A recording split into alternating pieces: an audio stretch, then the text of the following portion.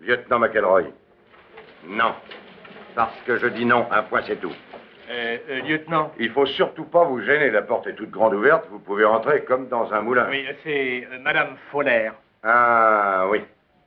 Oui, j'ai demandé à vous voir, c'est juste. Écoutez, lieutenant, Vous pensez bien qu'une plainte pour viol, c'est une chose sérieuse. Il faut nous donner un signalement détaillé de votre agresseur. Et plus ça va, et moins les rues sont sûres de nos jours. Je sais, Madame euh, Fowler, oui, oui, j'y suis, Fowler, oui.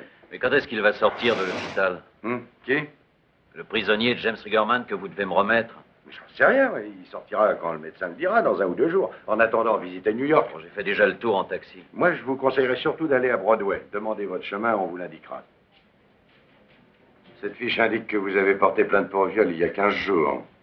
Tentative de viol seulement. J'ai envoyé un inspecteur pour vous interroger. Ça semble bien. Oui, et votre inspecteur a voulu me violer à son tour. Est-ce que j'ai essayé de vous violer, moi?